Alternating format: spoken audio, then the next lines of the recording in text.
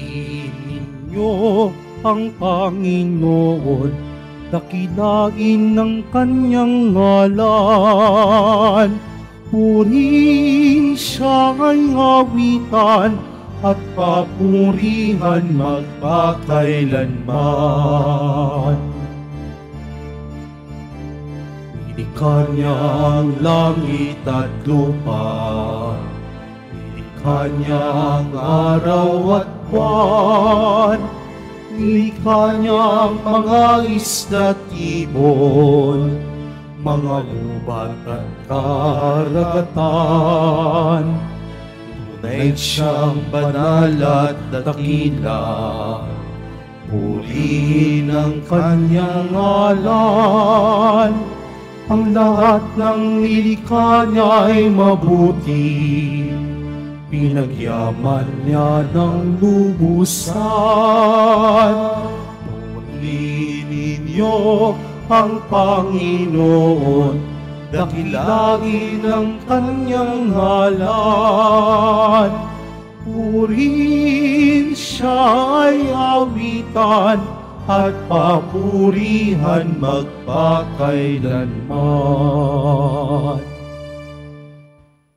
Simulan po natin ang pagdiriwang sa ngalan ng Ama at ng Anak at ng Espiritu Santo. Amen. Ang pagpapala ng ating Panginoong Kristo, ang pag-ibig ng Diyos Ama, at ang pagkipagkaisa ng Espiritu Santo naway sumainyong lahat.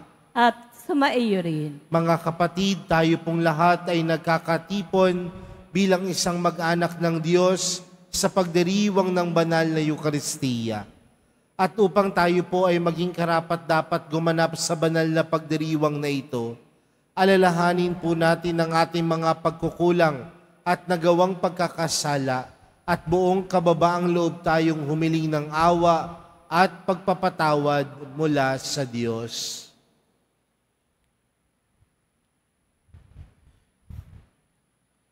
Sinugong tagapagpagaling sa mga nagsisisi, Panginoon, kaawaan mo kami. Panginoon, kaawaan mo kami. Dumating na tagapaganyayang mga makasalanan ay magsisi, Kristo, kaawaan mo kami. Kristo, kaawaan mo kami. Nakalukluk ka sa kanan ng Diyos Ama para ipamagitan kami.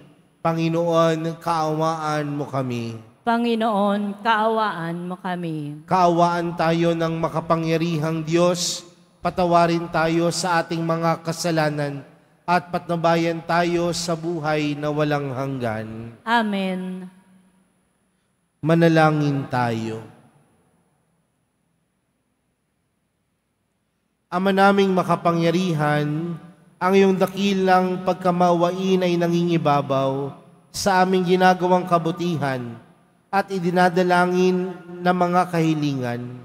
Ang kagandahang loob mo sa amin ay gawin mong mag-umapaw upang ang kasalanang ipinangangambang ihingi ng kapatawaran ng budhi naming takot na ikaw ay lapitan ay yung patawarin ng lubusan at ang ipinag-aalangan naming hilingin sa pagdarasal ay iyong pagbigyang aming makamtan sa pamagitan ni Yesu Kristo kasama ng Espiritu Santo magpa sa walang hanggan.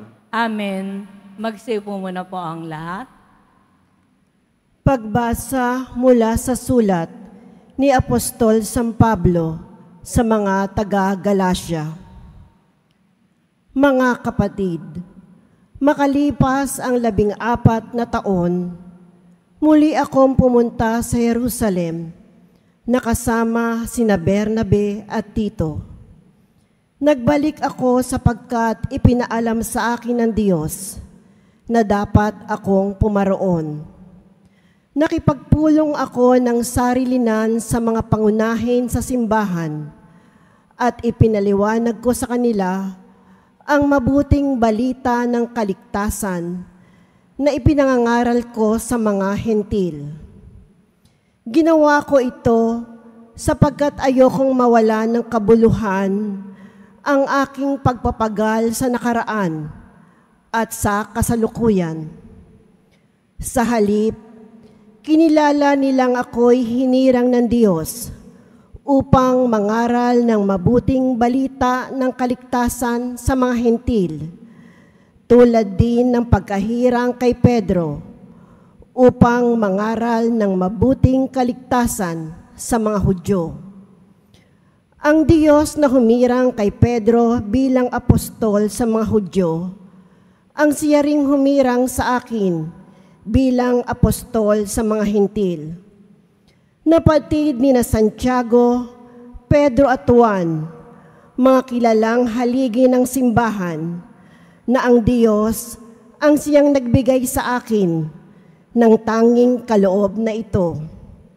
Kaya't kami ni Bernabe tinanggap nila bilang mga kamang, kamanggagawa.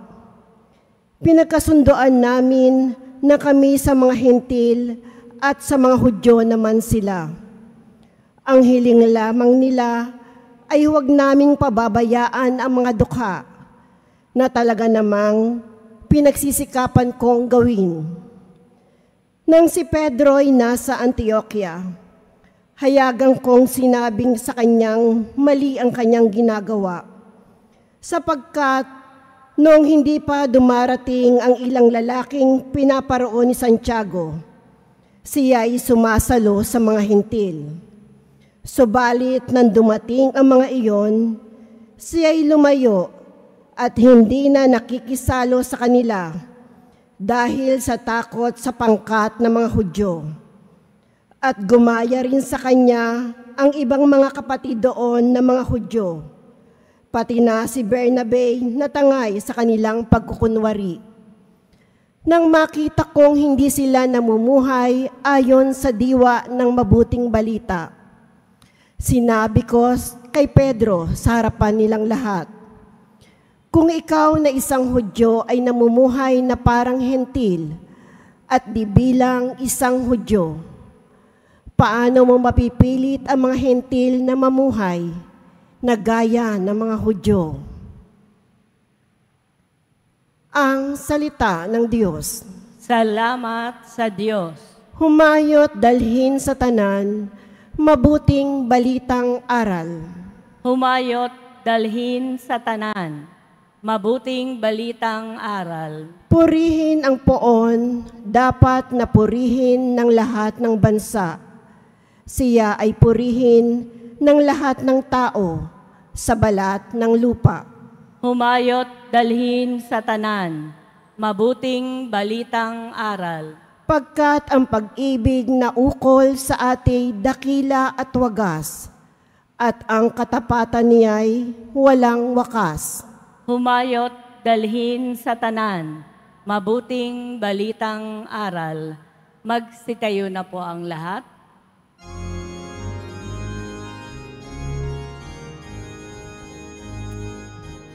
Alleluia, Alleluia, Alleluia, Alleluia.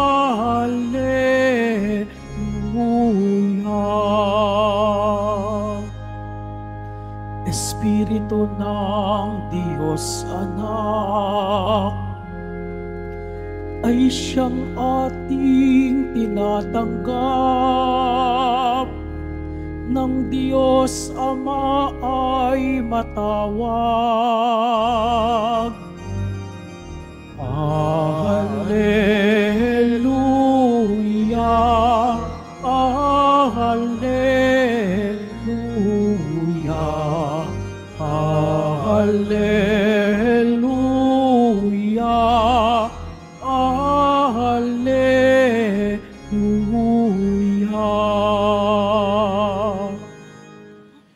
Sumainyo ang Panginoon. At sumaiyo rin. Ang mabuting balita ng Panginoon ayon kay San Lucas. Papuri sa iyo, Panginoon. Minsan nananalangin si Jesus. Pagkatapos niya, sinabi ng isa sa kanyang mga alagad, Panginoon, turuan po ninyo kaming manalangin, katulad ng ginawa ni Juan sa kanyang mga alagad. Sinabi ni Jesus, Kung kayo'y mananalangin, ganito ang sabihin ninyo, Ama, sambahin nawa ang pangalan mo. Magsimula na sana ang iyong paghahari. Bigyan mo kami ng aming makakain sa araw-araw at patawarin mo kami sa aming mga kasalanan sapagkat pinatatawad namin ang bawat nagkakasala sa amin. At huwag mo kaming iharap sa maigpit na pagsubok. Mga kapatid, ang mabuting balita ng Panginoon. Pinupuri ka namin, Panginoong Heso Kristo. Magsipo muna po ang lahat. Magandang tanghali po sa inyong lahat. Pwede bang batiin ng katabi ng magandang tanghali? Ano?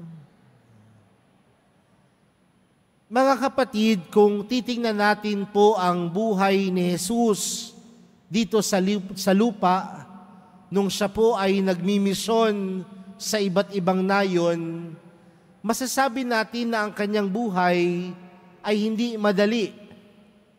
Humaharap siya sa iba't ibang klase ng tao, marahil ang iba ay inuusig pa siya dahil sa kanyang pagpapahayag ng salita ng Diyos, dahil sa mga milagro na kanyang ginagawa. Sa madaling salita mga kapatid, ang buhay ng Panginoon sa kanyang paglalakbay dito sa lupa ay hindi madali. May mga paghirap, may mga pagsubok. Pero kung titingnan din natin mga kapatid, may isang bagay na hindi mawawala sa pang-araw-araw na buhay ni Jesus. At ano po yung isang bagay na hindi mawawala sa buhay ni Jesus? Ang kanyang buhay, panalangin. Kung ma- maalala po ninyo sa iba't ibang kwento ng Ebanghelyo, kung si Jesus ay napapagod, siya ay umaalis no, kasama ang kanyang grupo at nag-iisa at pumupunta sa isang tahimik na lugar upang siya ay manalangin sa Panginoon, upang siya ay manalangin sa Diyos, Ama. Kapag si Jesus ay gagawa ng desisyon bago niya tawagin ang kanyang labing dalawang apostoles, si Jesus ay nanalangin. Si Jesus ay nagdasal, humingi ng marahil ng gabay sa Diyos Ama. Sa madaling salita mga kapatid, hindi nawawala sa buhay ni Jesus ang kanyang buhay panalangin marahil dahil doon siya humuhugot at kumukuha ng lakas. Kaya nga magandang tanungin din po sa buhay pananampalataya natin. Tayo po ba nananalangin sa Diyos? Tayo po ba naglalaan pa ng oras para sa Diyos? Nagbibigay panahon pa ba tayong manahimik upang kausapin ng Panginoon? Tingnan natin sa isang araw, merong 24 na oras. Walong oras dito tayo'y matutulog. Walong oras dito tayo'y naghahanap buhay. Yung walong oras pa na natitira, saan kaya natin ginugugol? Ginugugol marahil sa pamilya, marahil no, dumadagdag ng ibang hanap buhay. Pero sa loob ng 24 na oras, ilang minuto, ilang oras o ilang segundo ang inilalaan natin para sa Diyos. Hindi naman sinabi ng Diyos, bigyan niyo ko ng 24 na oras. Marahil ang ipinapaalala lang sa atin sa araw na ito, kung ang Panginoon, kung ang Diyos ang nagsisilbing lakas sa ating buhay, bigyan natin siya ng oras at panahon. Kung ang pinaghugutan natin ng lakas, walang iba kundi si Jesus, bigyan natin siya ng oras at panahon. Kaya nga kung mapapansin po ninyo, sa simula ng ating ibanghelyo, sabi po dito, minsan nananalangin si Jesus at pagkatapos niya, Ano ang sabi ng mga alagad sa kanya? Panginoon, no, turuan po ninyo kaming manalangin.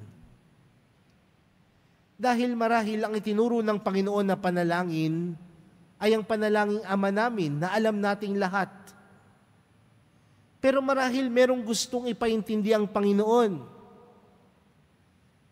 Marahil nasabi ng mga alagad, Panginoon, turuan niyo po kaming manalangin kasi nakita, nakita nila sa buhay ng Panginoon ang kumukumpleto, ang bumubuo ng kanyang buhay, walang iba kundi ang Diyos. Sa madaling salita mga kapatid, ang pananalangin pwedeng maituro sa kapwa, hindi lamang para turuan siyang manalangin, kabisaduhin ng panalangin, kundi nakikita ang buhay panalangin sa ating pagkilos at paggawa. Ang isang taong buhay, ang buhay panalangin sa kanyang sarili, ay hindi lamang yan makikita dahil nasa loob siya ng simbahan. Bagkus nakikita sa isang tao na buhay ang kanyang buhay na pananalangin, kung siya ay marunong makipagkapwa-tao, kung siya ay matulungin, kung siya ay mapagmahal, kung siya ay nagsusumikap maging mabuting tao. Nakita nila kay Jesus ang mga bagay na ito. Kaya marahil na sabi nila, Panginoon, turuan po ninyo kaming manalangin. Dahil buhay sa pagkatao ni Jesus ang pananalangin buhay sa pagkatao ni Jesus na kulang ang kanyang buhay kung hindi mananalangin.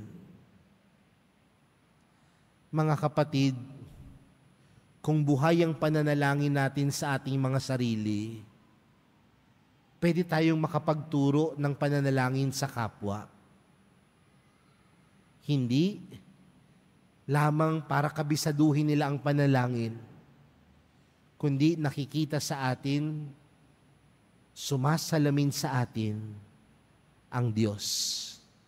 Sumasalamin sa atin si Jesus.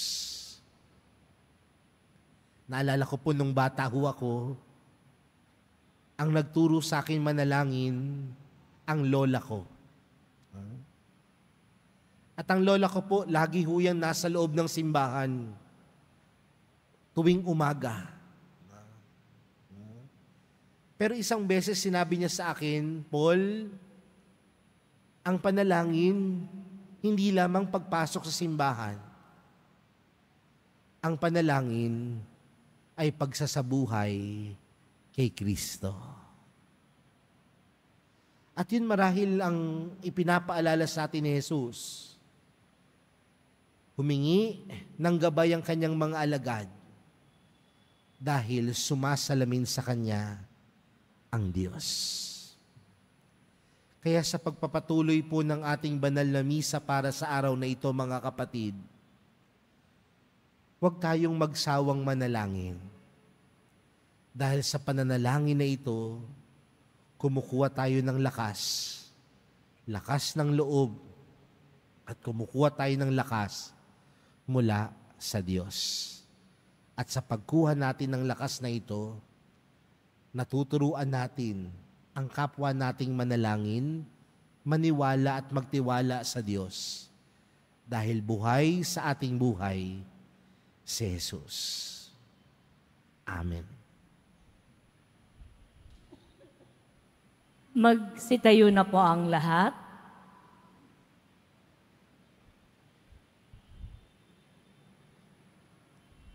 Minamahal kong mga kapatid, manalangin tayo sa amang nasa langit na mayroong ganap na pananalig sa Kanya. Ang ating panalangin, Ama, bigyan mo kami ng makakain sa araw-araw. Ama, bigyan mo kami ng makakain sa araw-araw. Ang simbahan sa buong daigdig, naway magpahayag ng malalim na pananalig sa pagdating ng kaharian ng pag-ibig katarungan, at kapayapaan ng Ama. Manalangin tayo.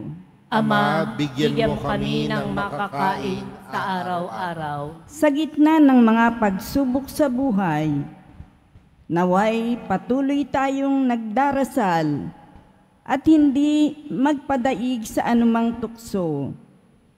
Manalangin tayo. Ama, bigyan mo kami ng makakain sa araw-araw. Tayo naway magkaroon ng sapat na makakain sa araw-araw na, papang, na pangangailangan at magkaroon ng dakilang puso upang patawarin ang ating mga kaaway. Manalangin tayo. Ama, bigyan mo kami ng makakain sa araw-araw. Ang mga may sakit at ang mga nakararanas ng paghihirap sa buhay, naway matulungan ng kanilang kapwa sa pagpapasa ng kanilang krus. Manalangin tayo. Ama, bigyan mo kami ng makakain sa araw-araw. Ang mga yumao, naway makita ang Panginoon ng harapan sa kanyang walang hanggang tahanan sa paraiso. Manalangin tayo. Ama, bigyan mo kami ng makakain sa araw-araw. Ama naming nasa langit, pinasasalamatan ka namin sa iyong pakikinig sa aming mga panalangin. Tulungan ninyo kaming manalig pala, palagi sa iyong pagmamahal at tanggapin ang iyong kalooban sa aming buhay. Hinihiling namin ito sa pamagitan ni Kristong aming Panginoon. Amen. Magsiupo muna po ang lahat.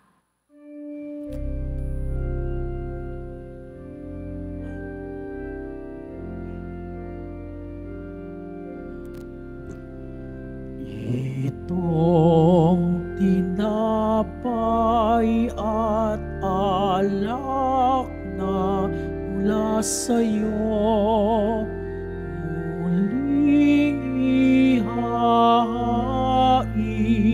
sa kabutihan mo.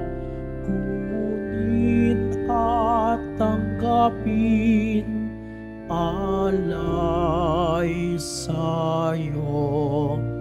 Pasasalamat ng puso. Buhay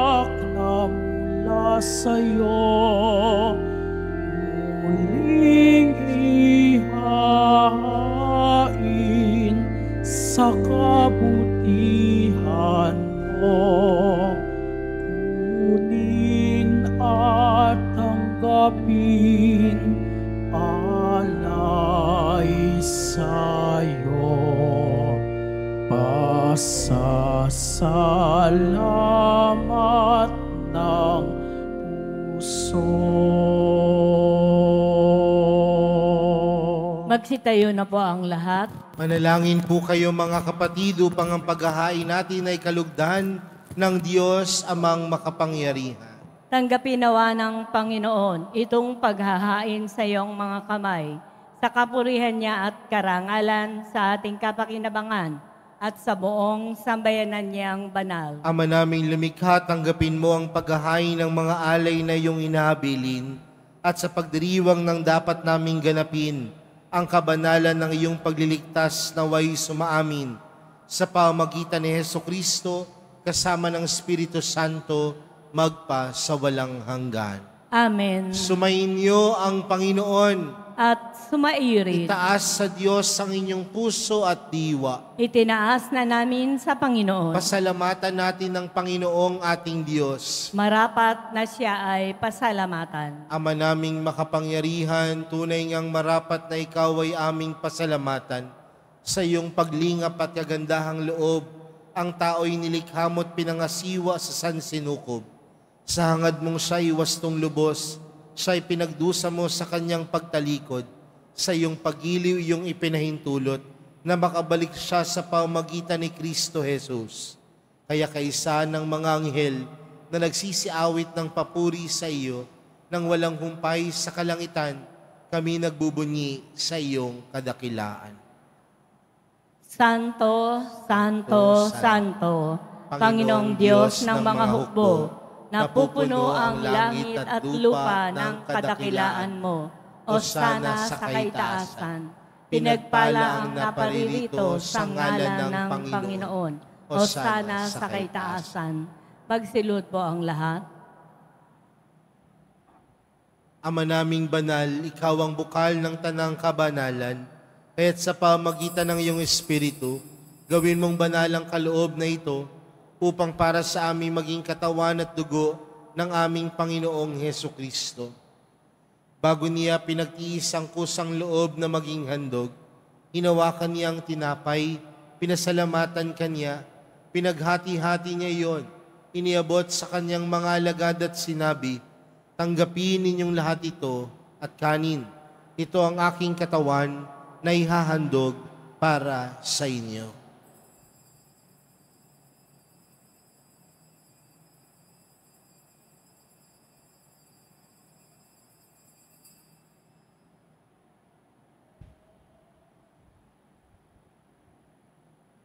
Gayon din naman noong matapos ang hapunan, hinawakan niya ang kalis. Muli kanyang pinasalamatan. Iniabot niya ang kalis sa kanyang mga alagad at sinabi, Tanggapin ninyong lahat ito at inumin. Ito ang kalis ng aking dugo, ng bago at walang hanggang tipan. Ang aking dugo na ibubuhos para sa inyo at para sa lahat, sa ikapagpapatawad ng mga kasalanan. Gawin niyo ito sa pag-alala sa akin.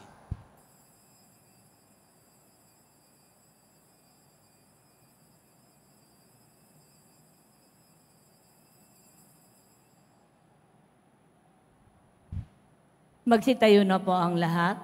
Ipagbunyi natin ang misteryo ng pananampalataya. Si Kristo'y namatay. Si Kristo'y nabuhay. Si Kristo'y babalik sa wakas ng panahon. Ama, ginagawa namin ngayon ang pag-alala sa pagkamatay at muling pagkabuhay ng iyong anak. Kaya't inaalay namin sa iyo ang tinapay na nagbibigay buhay at ang kalis na nagkakaloob ng kaligtasan. Kami nagpapasalamat dahil kami iyong minarapat na tumayo sa harap mo para maglingkod sa iyo.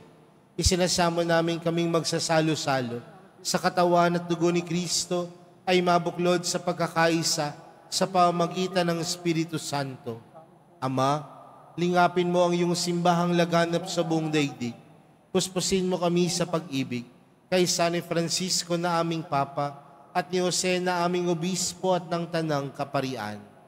Alalahanin mo rin ang mga kapatid naming nahimlay nang may pag-asang sila'y muling mabubuhay, gayon din ang lahat ng mga pumanaw. Kaawaan mo sila at patuloyin sa iyong kaliwanagan.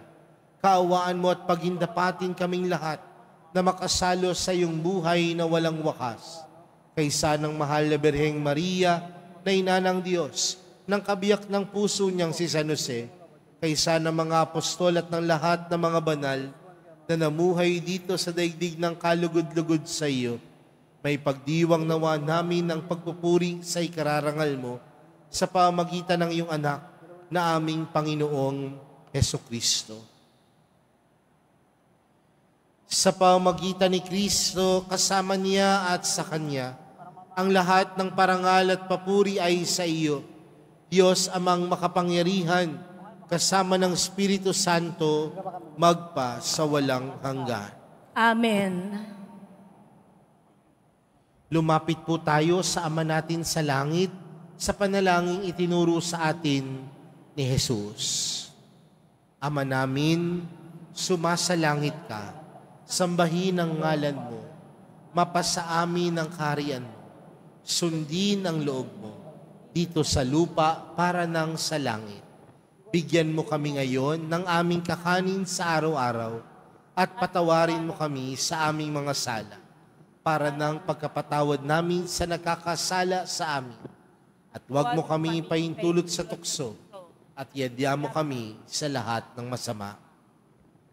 Hinihiling po namin kami yadya sa lahat ng masama, pagkalooban ng kapayapaan araw-araw, iligtas sa kasalanan at ilayo sa lahat ng kapahamakan, samantalang aming pinananabikan ang dakilang araw ng pagkapahayag ng tagapagligtas naming si Yeso Kristo.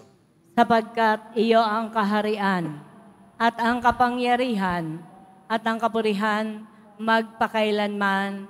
Amen. Panginoong Heso Kristo, sinabi mo sa iyong mga apostol, kapayapaan ang iniwan ko sa inyo, ang aking kapayapaan ang ibinibigay ko sa inyo. Tunghayan mo ang aming pananampalataya at huwag ang aming pagkakasala. Pagkalooban mo kami ng kapayapaan at pagkakaisa ayon sa iyong kalooban, kasama ng Espiritu Santo, magpa sa walang hanggan. Amen. Ang kapayapaan ng Panginoon ay laging sumainyo. At sumaiyo rin. Magbigayan po kayo ng kapayapaan sa isa't isa.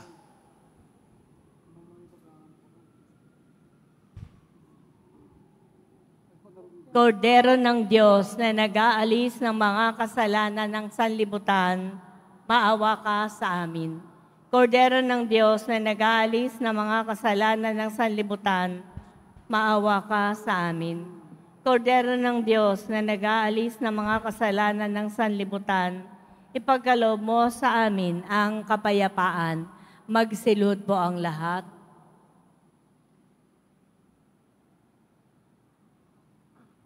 Narito po si Jesus, ang kordero ng Diyos. Siya ang nag-aalis ng kasalanan ng sanlibutan. Mapalad ang mga inaaniyahan sa kanyang piging. Panginoon, Hindi ako karapat-dapat na magpatuloy sa iyo. Ngunit sa isang salita mo lamang ay gagaling na ako.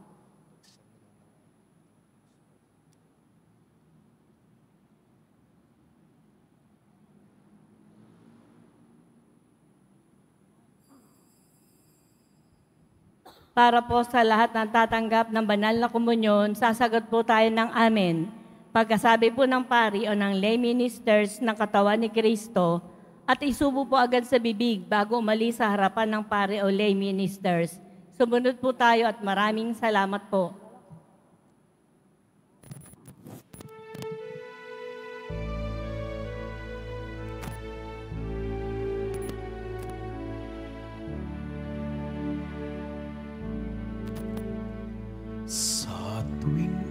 Ika'y namamalas, O aking Jesus,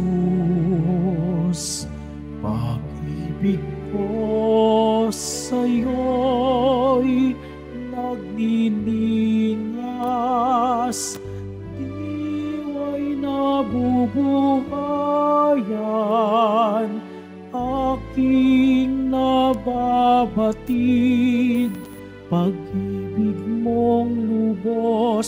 pagtatangi mo sa akin bilang iyong kaibigan.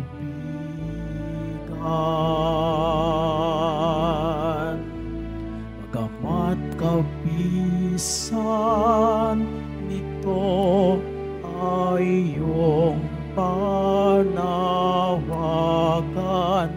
Nalimutin ang sarili layang Magdusaya rin sakit. Anong tamis o kay ganda? Pagkat ito'y landas tungo sa iyong kaharian.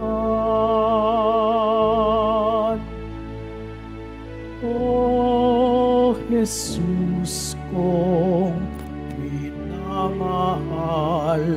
pagkain ka't inumin ng napapagal, pagdurusaman ang iyong kalis, kapanatilihan may kubli.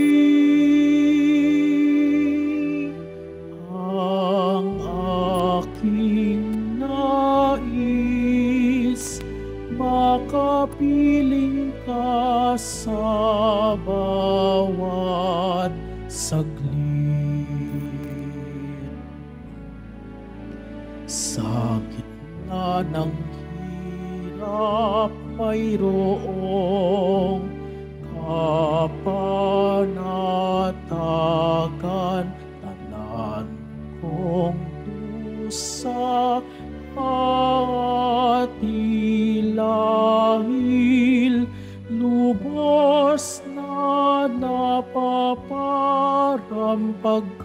ito'y kaparaanan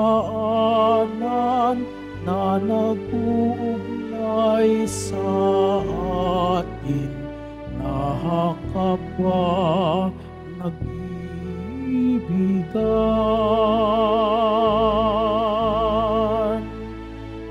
O Jesus kong minamahal, pagkain ka't inumin ng napapagal, pagdulusaman ang iyong kalis, kapanatilihan ay kubli.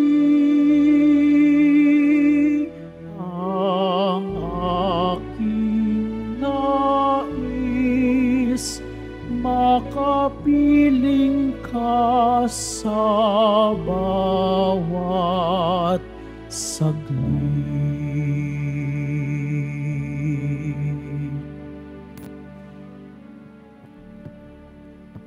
Announcement. Available na po ang ating mga All Souls envelope sa mga nagnanais.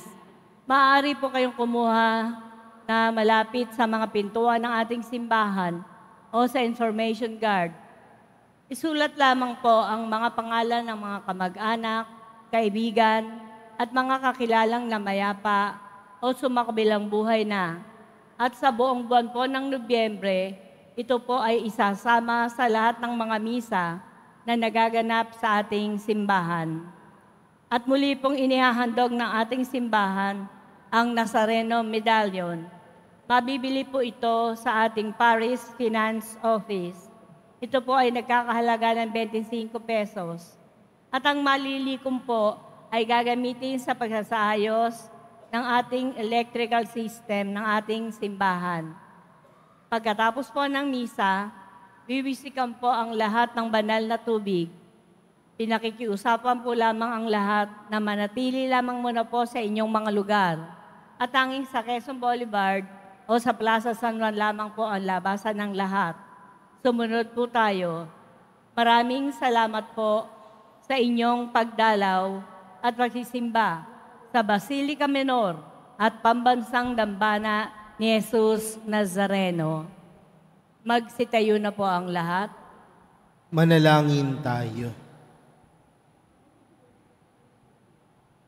Ama naming mapagmahali pagkaloob mong sa pagsasalo namin sa pagkait inuming banal, kami ay maging katawan ni Kristo na aming pinakinabangan sa pamagitan niya kasama ng Espiritu Santo magpa sa walang hanggan. Amen. Sumayin niyo ang Panginoon. At sumaiyo rin. Mahal na pong Jesus Nazareno, inihayag mo sa pamagitan ng krus ang walang maliw na pag-ibig ng Diyos sang katauhan. Pakinggan mo ang kahilingan ng iyong angkan na nagsusumamo sa iyo. Makamtanawa nila ang iyong katugunan at tanggapin ang kasagutan na may utang na loob na tinatanaw.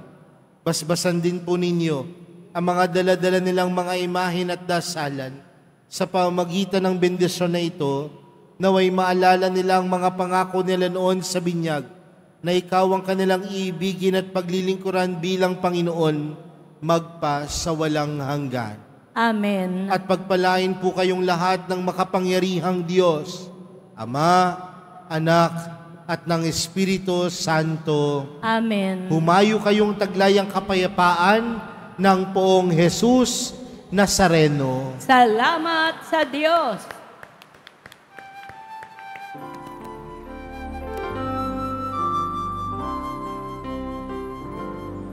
Nuestro Padre Jesus Nazareno, sinasamba ka namin. Pinipintuho ka namin. Aral mo ang aming buhay at kaligtasan. Nuestro Padre Jesus Nazareno, iligtas mo kami sa kasalanan. Ang krus mo pinamatayan ay sagisag ng aming kaligtasan. Nuestro Padre Jesus Nazareno, inarangal namin. Nuestro Padre Jesus Nazareno,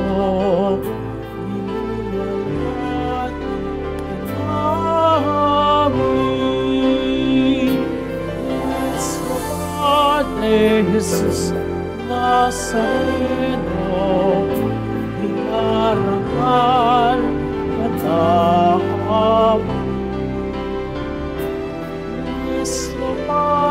Jesus Nazareno,